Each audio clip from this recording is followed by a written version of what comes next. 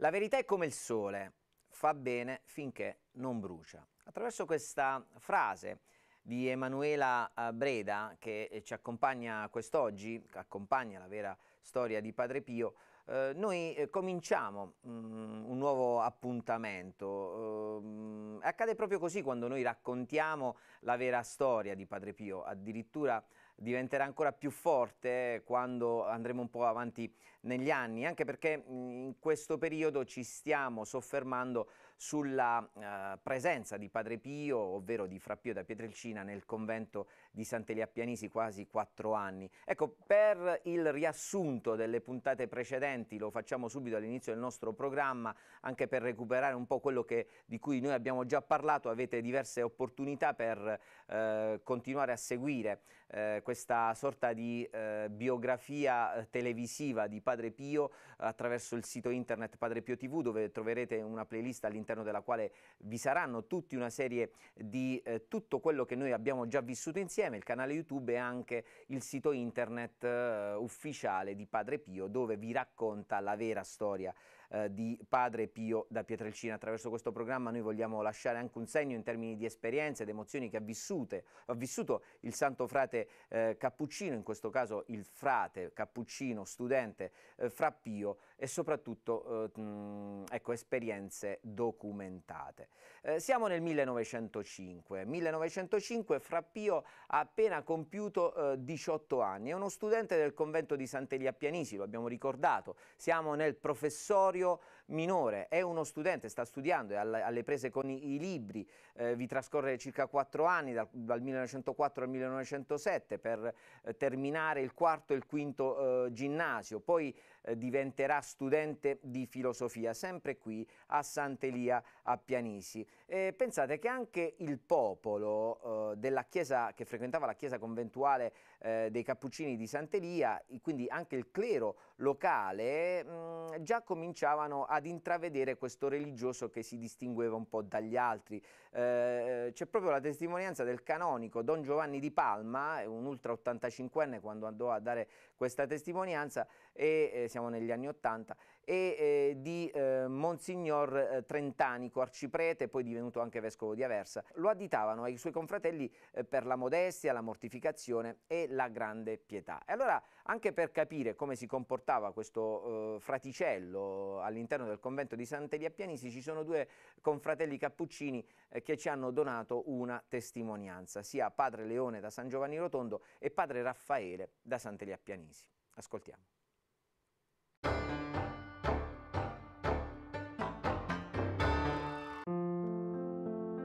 Padre Leone da San Giovanni Rotondo ricorda che, durante lo studentato a Sant'Elia Pianesi, Fra Pio ha sempre conservato lo spirito del santo noviziato. Spesso, nell'andare a chiamarlo in cella, lo trovavo o inginocchiato ai piedi del letto o con il volto tra le mani appoggiato sui libri. Qualche volta Fra Pio non si presentò in coro per l'ufficio notturno. Andavo ad avvertirlo e lo vedevo inginocchiato sul letto con una coperta sulle spalle immerso nella preghiera.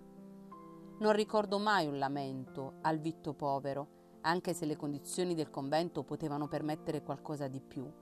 Non criticava mai l'operato dei superiori, quando gli altri lo facevano o li rimproverava o li metteva in disparte. Mai un lamento per il freddo veramente rigido e per le coperte tanto poche. Il dono del pianto era ordinario, tanto che si ammalò agli occhi in convento, noi aspiranti, ci dice padre Agatangelo, aiutavamo gli studenti nei lavori di comunità. Un giorno d'estate spaccavamo i pomodori per essiccarli al sole e poi fare la conserva. Fra Pio stava insieme a noi, ma a un certo momento sparì. Fra Placido da San Marco in Lamis se ne accorse e lo mandò a chiamare. Domandatogli dove fosse stato, rispose che era andato nella stanza a ripassarsi le lezioni. Poteva essere vero, però il volto, tutto acceso, mostrava che egli aveva pregato intensamente. Questo volto me lo ricordo come se fosse adesso, assieme alla dolcezza dei modi e della voce con cui rispose al decano dello studio. Per sentir parlare fuori tempo e fuori luogo fra Pio, con un gesto da monello mentre saliva le scale, lui davanti ed io indietro, e padre Raffaele da Sant'Elia che racconta, osai tirargli il cappuccio. Egli si voltò, non disse una parola, ma uno sguardo abbastanza truce condannò il mio operato. Non fiatai, ma presi paura, temendo che mi accusasse al precettore. Ciò che Frappio non fece. Viveva la vita comune come tutti gli altri chierici, eseguendo anche i servizi umili e manuali.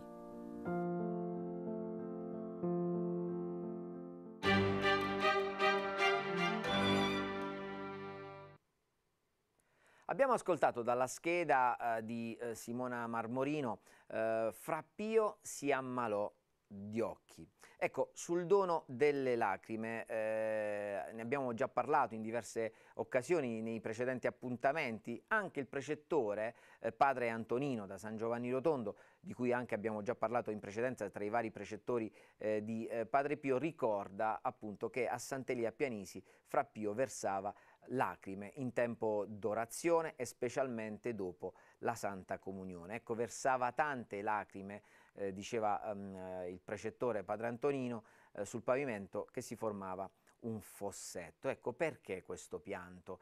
Um, prima a Morcone, come novizio cappuccino, i confratelli si accorgono di questo giovane che piange. Eh, poi Sant'Elia Pianici, di nuovo questo ragazzo piange, piange quando prega. Nessuno però chiedeva, forse immaginavano eh, qualcosa di, mh, di, particolare, ecco perché piange questo eh, ragazzo. Noi abbiamo ehm, costruito una scheda proprio attorno a padre Antonino, di cui vi abbiamo già parlato, che eh, fu costretto a lasciare l'ordine, ma fu proprio padre Antonino che per obbedienza chiese al giovane cappuccino pietrelcinese perché ehm, piangi, Ascoltiamo.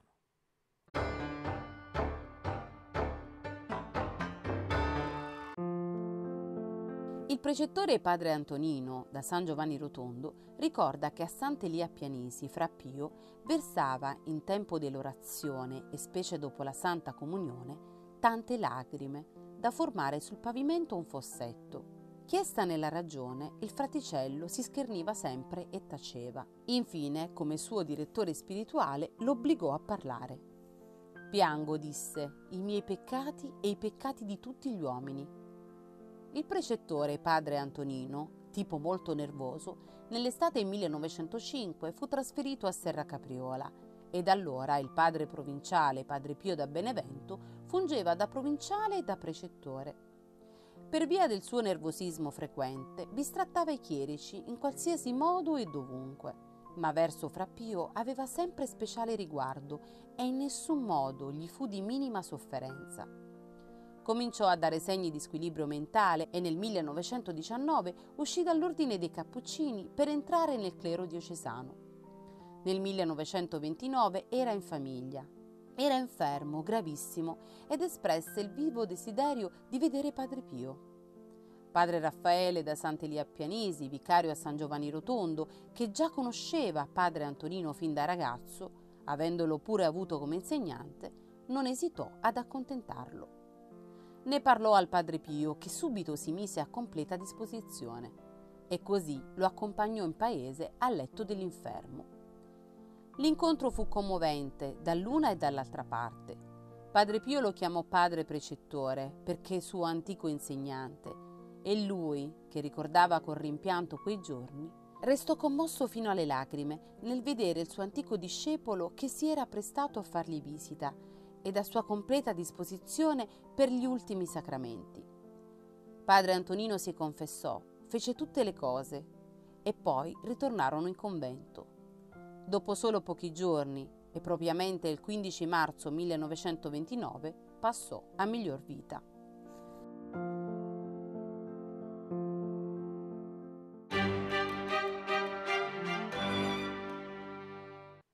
Abbiamo ascoltato mh, attraverso la scheda di Simona eh, la storia di padre Antonino, eh, ecco ne avevamo già parlato, eh, mh, era il precettore, l'insegnante di questi ragazzi a Sant'Elia Pianisi che cominciava a dare dei segni, eh, ecco abbiamo letto eh, e abbiamo ascoltato di squilibrio mentale. Eh, quindi tornò in famiglia, mh, forse oggi diremmo eh, chissà, di demenza senile o Alzheimer, eh, ecco, dei momenti eh, critici di questo, di questo, ex frate minore cappuccino che poi ha voluto incontrare eh, qui a San Giovanni Rotondo Padre Pio, ecco questo incontro commovente, comunque nonostante tutto per Padre Pio era sempre il suo padre eh, precettore, quindi in questi momenti di lucidità che aveva ehm, eh, ha continuamente cercato Padre Pio e quindi è stato anche bello ri rivedere e ehm, soprattutto riascoltare anche la sua storia, capire il motivo per il quale lui andò via dai frati minori eh, cappuccini. Ma eh, torniamo a, ehm, a Sant'Elia Pianisi, abbiamo questa cartina della provincia dei Santi Angeli, così come veniva eh, chiamata. Abbiamo un po' cerchiato eh, quelli che sono gli spostamenti di Frappio in convento in questi anni. Quindi cominciamo da Morcone 1903-1904, eh, quindi lui si sposta lo vediamo sulla cartina, eh, nel professorio minore a Sant'Elia Pianisi e vi, vi, si tratterrà dal 1904 al 1907, però poi ci sono altre tre tappe. Eh, riconosciamo subito Campobasso nel 1905, San Marco la Catola 1905-1906 e Serra Capriola 1905 perché abbiamo voluto segnare eh, queste eh, tre tappe differenti da Sant'Elia a Pianisi? Perché lui è stato qui circa quasi quattro anni, tre anni, quasi quattro anni, ehm, ma poi si è spostato, anche perché nel professorio minore era, eh, era un momento anche eh, per poter eh, ecco, fare delle passeggiate, delle gite scolastiche, lo si faceva spesso anche durante l'estate, ma di questo ne parleremo successivamente. E intanto facciamo una piccola pausa, poi torneremo insieme.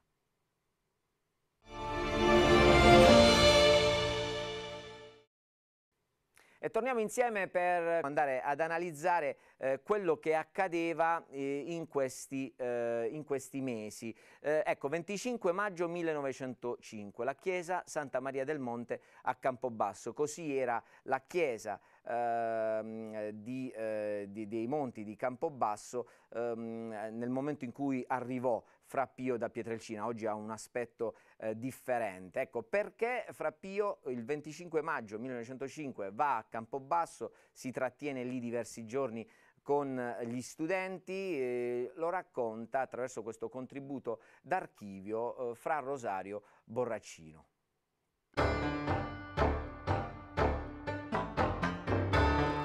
Fra Pio da Pietrelcina e poi dopo Padre Pio da Pietrelcina, è passato per Campobasso diverse volte.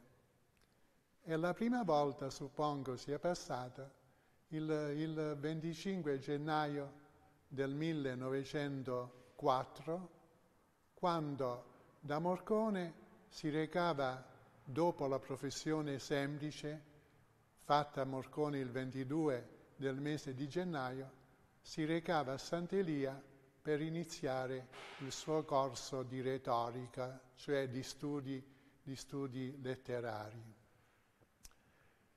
È stata la prima volta, ma non poteva minimamente conoscere il, il conventino dei monti, perché il conventino dei monti inizia la sua vita soltanto il 25 maggio del 1905. Ma quanto Padre Pio è stato sui monti? Padre Pio è stato certamente sui monti e lo sta a dimostrare la tradizione che noi frati abbiamo del luogo dove Padre Pio ha dovuto eh, dormire quando soggiornò là in quel conventino che non aveva le stanze necessarie. Questa è tradizione naturalmente data dai nostri, dai nostri padri, ma abbiamo una, una conferma dello stesso Padre Pio, il quale pochi mesi prima della sua morte ebbe a dire al già provinciale Padre Antonino da Sant'Elia a Pianesi che praticamente lui è stato sui monti si suppone, si suppone la prima volta dopo il maggio del 1915, del 1905, per motivi di aiuto alle funzioni religiose. Ora, le, le prime funzioni religiose che i nostri primi padri hanno dovuto affrontare sono state quelle di chiusura del mese di maggio. Quindi si suppone che verso la fine del mese di maggio del 1905 Padre Pio sia stato nel conventino dei Monti. Quanti giorni sia rimasto non è dato a noi saperlo. Si suppone però, dato che lui veniva da Sant'Elia, che certamente si è dovuto fermare qualche giorno anche per aiutare la sistemazione del convento.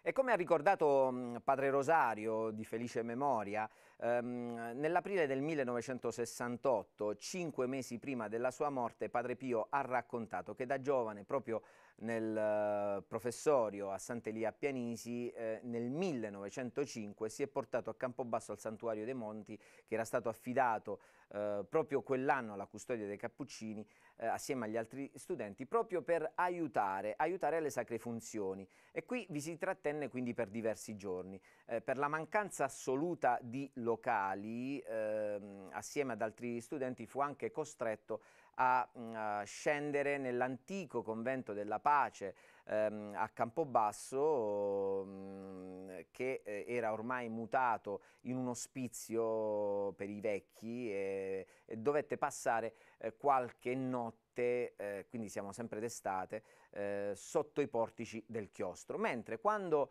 eh, dormiva in questo, eh, non in questo convento, perché non esisteva un convento, esistevano quindi delle stanze o qualcosa che eh, chiaramente avevano preso possesso di questa, di questa struttura, ecco, di, questo, di, questa importante chiesa, ehm, quando poté dormire monti, eh, raccontano i suoi confratelli attraverso queste parole proprio di Padre Pio, il suo angolo era quello della stessa chiesa, chiuso con un recinto di tavole. E ringrazio come sempre chi ci sta accompagnando in questo nostro eh, appuntamento, ovvero in questo nostro percorso santeliano, sia fra Aldo Broccato che fra Giuseppe Trisciuoglio. Eh, e allora, padre Aldo, eh, i frati nel maggio del 1905 da Campobasso rientrano nello studentato eh, di Sant'Elia ed è proprio nell'estate del 1905 che accade un fatto strano, così lo chiama Fra Pio.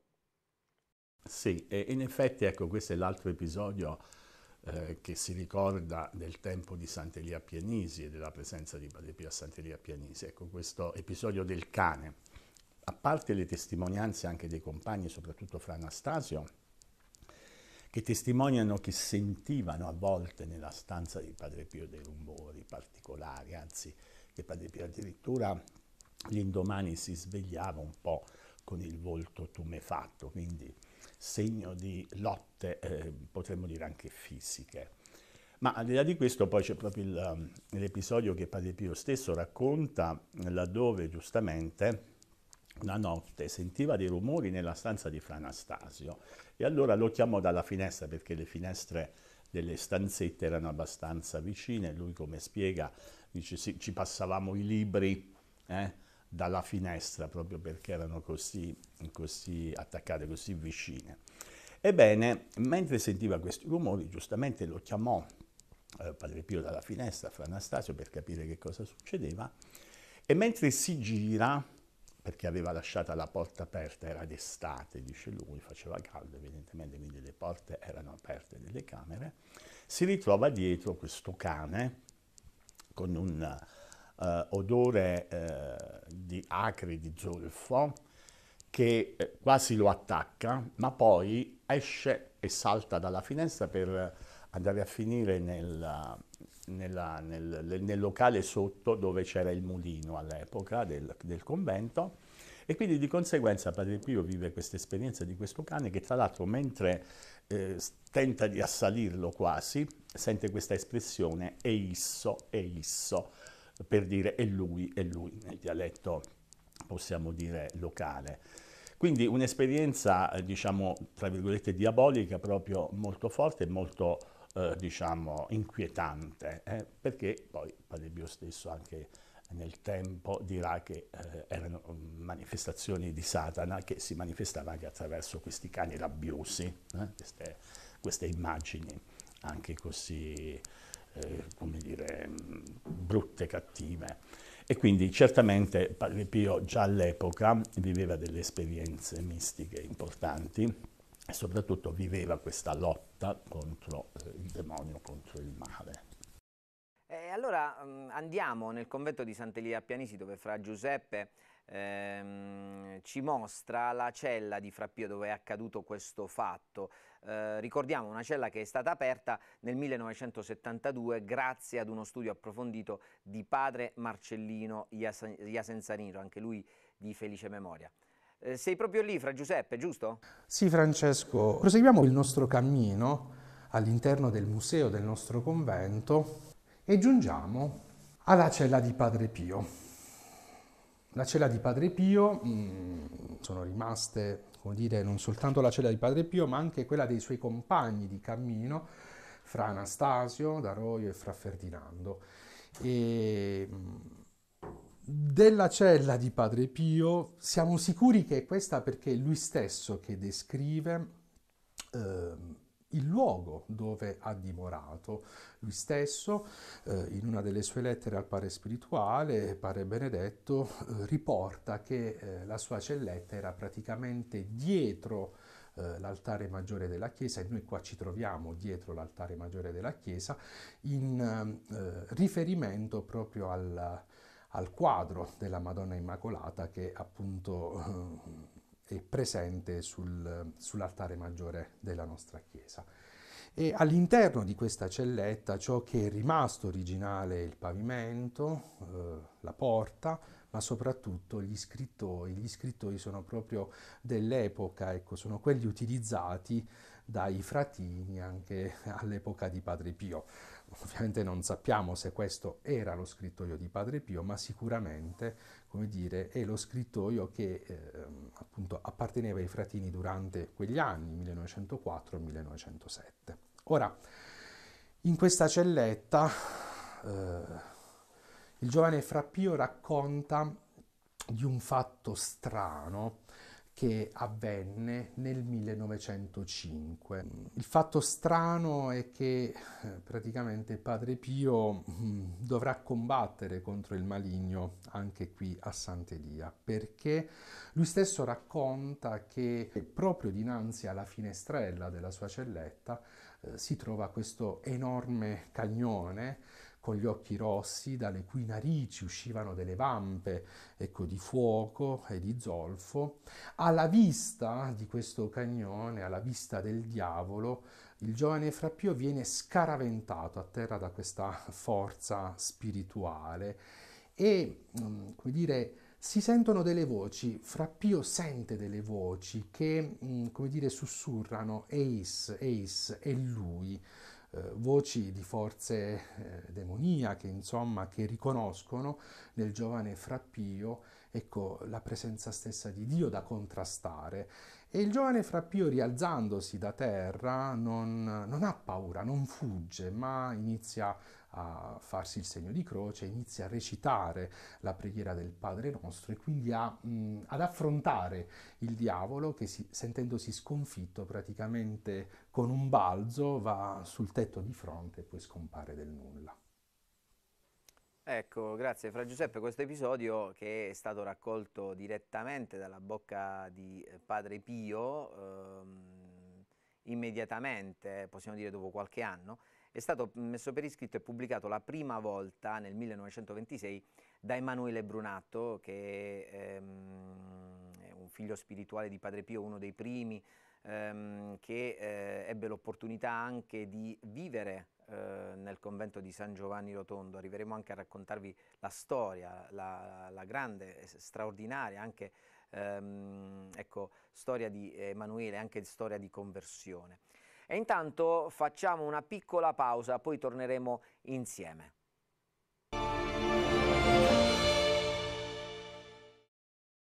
E torniamo insieme per continuare a raccontarvi l'esperienza di Fra Pio Cappuccino come studente. Fra Massimo Montagano eh, ha fatto dono al nostro eh, archivio, attraverso la sua voce, di diverse registrazioni, tra cui anche la registrazione di questo fatto strano di Sant'Elia Pianisi che noi abbiamo cercato di ricostruire.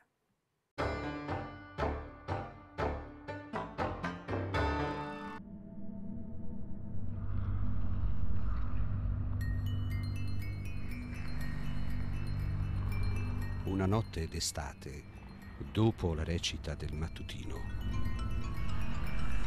Avevo la finestra e la porta aperta per il gran caldo, quando sentii dei rumori che mi sembravano provenire dalla cella vicina. Che cosa farà a quest'ora fra Anastasio? mi domandai. Pensando che vegliasse in orazione, mi misi a recitare il Santo Rosario. C'era infatti fra noi due una sfida a chi pregasse di più ed io non volevo rimanere indietro. Continuando però questi rumori, anzi diventando più insistenti, volli chiamare il confratello. Si sentiva intanto un forte odore di zolfo. Mi spinsi dalla finestra per chiamare. Le due finestre, la mia e quella di Fra Anastasio, erano così riavvicinate che ci si poteva scambiare i libri o d'altro allungando la mano. Fra Anastasio, Fra Anastasio, cercai di chiamare senza alzare troppo la voce. Non ottenendo risposta, mi ritirai, ma con terrore dalla porta vidi entrare un grosso cane, dalla cui bocca usciva tanto fumo Caddi riverso sul letto e udii che diceva Isso, Isso, è lui, è lui. Mentre ero in quella positura, vidi l'animalaccio spiccare un salto sul davanzale della finestra, da qui lanciarsi sul tetto di fronte per poi sparire.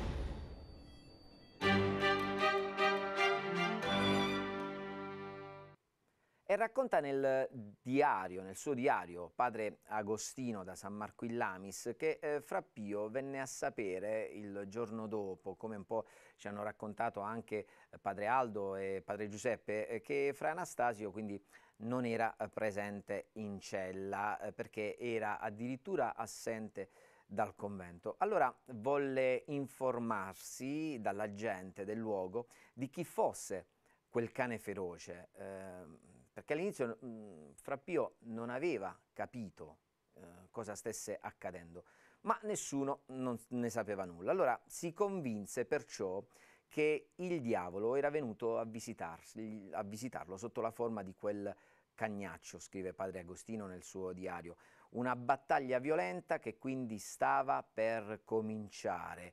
Ecco, in ordine a questa battaglia, ce lo racconta fra Luciano Lotti, attraverso questo contributo eh, d'archivio, quello che stava accadendo in modo violento nella vita di Frappio.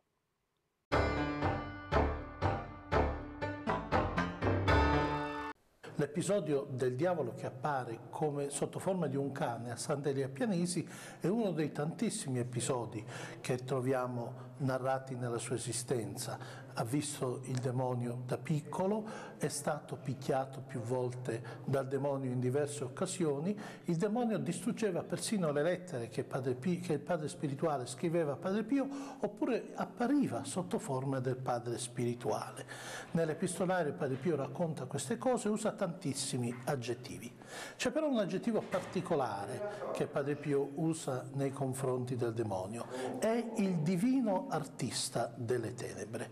Questa caratteristica, questo termine divino artista delle tenebre, ci dà la possibilità di distinguere due aspetti, un aspetto fenomenologico tutte queste apparizioni, questi problemi, è il concetto che Padre Pio aveva del demonio. Al di là dei fenomeni esterni, il demonio era il valente artista delle tenebre, cioè colui che aveva avvolto il mondo con le sue bugie, per cui tante cose nel mondo, il benessere, il denaro, la passionalità, erano diventate così grandi che avevano preso il posto di Dio.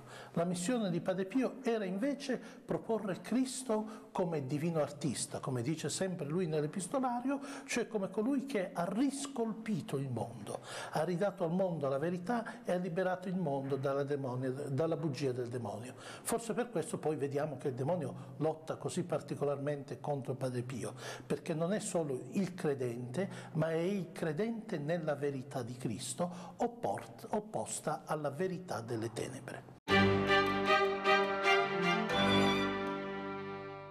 Questo fatto è stato anche raccontato da uh, Fra Raffaele da Sant'Elia a Pianisi, ovvero Fra Raffaele Daldario, Fra Pio che sente il calpestio nella stanza accanto, poi si affaccia alla finestra, chiama Fra Anastasio, eh, vede un grande caprone. Ecco, non si parla di cane, ma si parla di caprone. Un caprone che è eh, sulla finestra, scrive eh, fra Raffaele, che poi diventerà padre Raffaele, diventerà anche il confessore di padre Pio qui a San Giovanni Rotondo, lui scrive sulla finestra a picco, sporgendo da metà fuori.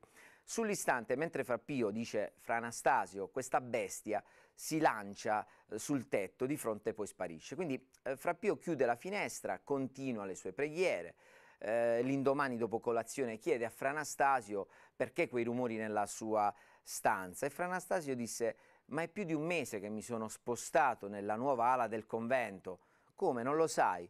E alla risposta di Fra Anastasio a quel punto Fra Pio non fiata più, si persuade così di questa, di questa situazione, questa brutta bestia eh, che era lo spirito maligno trasformato in caprone. Ecco, di nuovo caprone, torna questa espressione, non si parla più di cane ma di caprone. Lo stesso padre Gerardo di Flumeri eh, nei componimenti scolastici, ecco, usa anche lui questa espressione, riprendendo padre Marcellino, che in uno studio ehm, dedicato alla ricostruzione storica della cella di padre Pio, padre Marcellino, a Sant'Elia Pianisi, eh, infatti fu inaugurata nel 1972, padre Marcellino racconta che eh, lui stesso si è rivolto a Padre Pio per avere maggiori informazioni dove si trovasse questa, questa cella e, e, Padre Pio ha raccontato, ha indicato i suoi ricordi ancora vivi di quegli anni a Sant'Elia a Pianisi. Ebbene, padre Gerardo di Flumeri, ri, riprendendo uh, un articolo di padre Marcellino Iasenzarino, è facile vedere una incarnazione, scrive eh, padre, eh, padre, Gerardo di Flumeri, un, un'incarnazione di quel formidabile e misterioso personaggio contro il quale Francesco Forgione fu chiamato in battaglia, in una visione avuta alcuni mesi prima di entrare eh, nel santo noviziato. Il Signore non gli aveva forse fatto capire che la sua entrata in religione altro non era che di esporsi alla lotta con quel misterioso uomo d'inferno? La battaglia dunque era iniziata. Terminato il corso ginnasiale, ehm, Frappio promosso in filosofia. Siamo sempre nel 1905, ma siamo a metà ottobre, eh, assieme ad altri compagni. Ehm, I ragazzi eh, partono per ehm, il convento di San Marco la Catola, che è vicinissima, diciamo in linea d'aria, eh, a Sant'Elia a Pianisi. Eh, lì eh, vi resteranno per diversi mesi perché ci sono dei lavori da, eh, da effettuare al convento di Sant'Elia, sistemare ancora alcune stanze, eh, anche in chiesa altri lavori, quindi si decise di spostare, quindi in questo caso ancora il padre Pio da Benevento decise eh, di spostare ehm, il professorio temporaneamente a San Marco la Catola, dove qui ci sarà anche un nuovo, un nuovo insegnante, un nuovo ehm, professore di filosofia. E allora andiamo, andiamo direttamente a San Marco la Catola, siamo in provincia eh, di eh, Foggia, eccolo qui, lo vediamo, il convento dei frati minori eh, cappuccini di San Marco la Catola, un convento, pensate, che risale al 1585. E qui eh, attendiamo fra Giuseppe Buenza, il parroco di San Marco, che ci deve dare una mano per raccontarvi quello che accade in questi eh, mesi. Ecco, proviamo anche a suonare, vediamo un po' se fra, fra Giuseppe ci risponde.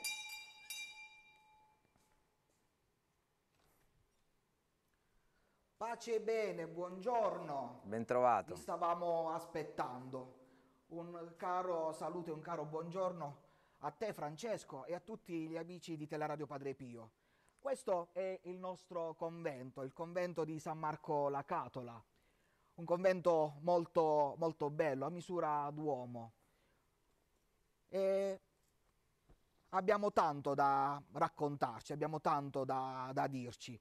E entrate, venite, così conoscete il luogo dove ora viviamo noi, ma nel 1905 da questa porta entrò il giovane Frappio. Ecco, noi intanto ti seguiamo, Fra Giuseppe, grazie per la disponibilità. Intanto ci spostiamo quindi da Sant'Elia a San Marco la Catola. Vi anticipavo questo convento eh, che risale al 1585, quando il padrone del paese, il marchese Pignatelli, eh, chiamò i frati minori cappuccini, gli fece così costruire eh, questo, questo, convento. E a volte quando noi parliamo di Padre Pio a San Marco la Catola eh, ci limitiamo esclusivamente al periodo che ha visto, intanto noi stiamo vedendo eh, Fra Giuseppe che sta salendo e ci si, si, sta portando verso il coro, eh, lo sta seguendo il nostro operatore. Ehm, dicevo, mh, noi parliamo spesso di Padre Pio a San Marco la Catola nel 1918 perché come sapete si è trattenuto per circa un mese per ecco, approfondire eh, de, di alcune problematiche che viveva con il suo padre spirituale, padre, padre Benedetto, e, e non si dà importanza invece ai diversi mesi che ha trascorso in questo convento dal 1905 al 1906, quindi circa sei mesi, un anno intero ecco, di studio, ecco, potremmo dire proprio così, eh, insieme al suo nuovo insegnante, poi scopriremo eh, chi è. Eh, fu un mese, un mese eh, importante che trascorse eh, qui il sacerdote cappuccino, eccoti fra Giuseppe. Um, ora ci soffermiamo proprio su Fra Pio Studente. Allora, qui a San Marco la Catola gli studenti arrivarono nell'ottobre del 1905 per frequentare il primo anno di filosofia.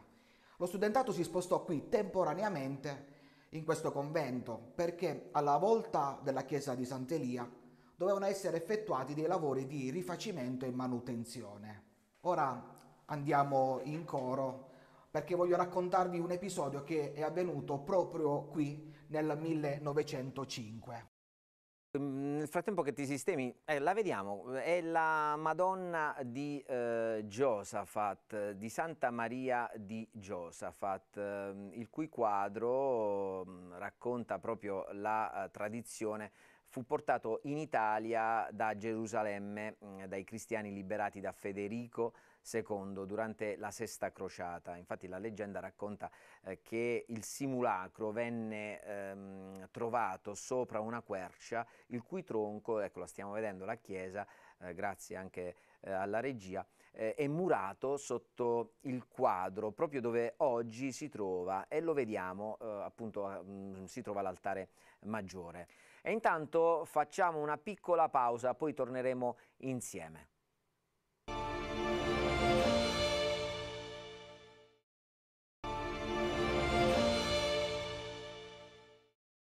Torniamo al 1905, lo vediamo, Fra Giuseppe ti sei sistemato, ehm, ci hai chiesto di restare eh, sul coro, perché qui è accaduto qualcosa di importante, vero, in quegli anni? Sì, voglio raccontarvi un episodio documentato da padre Damaso da Sant'Elia a Pianisi, proprio riguardante un episodio avvenuto qui nel coro. Nel convento di San Marco la Catola il comportamento di Frappio era sempre esemplare e pieno di carità. Frappio aveva suonato il campanello del coro, ci esortava ad intervenire con sollecitudine. A ricreazione gli altri compagni andavano a cogliere nell'orto senza permesso fave fresche e mangiavano. Poi le offrivano anche a Frappio e Frappio si scherniva ma con tanta grazia da destare ammirazione e simpatia. Questo è verissimo. E dice ancora, con fresca memoria, una sera in coro si faceva orazione mentale. Io stavo vicino a lui, alla sua destra. Mi ricordo come se fosse adesso, così ci dice. Spinto dalla divozione mista a curiosità, misi di soppiatto il mio dito su un grande fazzoletto bianco che Frappio aveva al suo fianco e pensai al dono di lagrime. Dicevano che era ammalato di occhi per il troppo pianto. Ritirai il mio dito tutto bagnato, perché il fazzoletto era zuppato di lacrime. Questo è l'episodio che ci racconta padre Damaso, uno studente più piccolo di Padre Pio, che ha avuto contatti con lui. Era un ragazzino e se ci racconta questo episodio a distanza di anni, vuol dire che è stato un episodio che veramente lo ha segnato. E noi vogliamo ringraziare anche questi frati che ci hanno trasmesso episodi della vita di Padre Pio, per farcelo conoscere, per farci conoscere la vera figura di Padre Pio. A proposito anche di episodi avvenuti qui e di testimonianze, avvenute qui a San Marco, c'è anche un, uh, un libro dedicato all'infanzia e adolescenza di Padre Pio, di Gerardo Leone, e che voglio, voglio condividere con voi, perché comunque Padre Pio qui uh, è stato non soltanto nel 1918, dove ci sono le più grandi testimonianze, ma anche nel 1905, è proprio il periodo che stiamo, che stiamo uh, analizzando, che stiamo, che stiamo, trattando. E Padre Pio ha avuto contatti non soltanto con, con i suoi confratelli, ma anche con la gente. Gerardo Leone racconta questi due episodi che voglio condividere con voi. Un vecchio falegname di San Marco, molti decenni dopo, raccontò che un giorno si era recato nel coro del convento per aggiustare una finestra e vi trovò Fra Pio che stava lì a pregare fuori dall'orario usuale.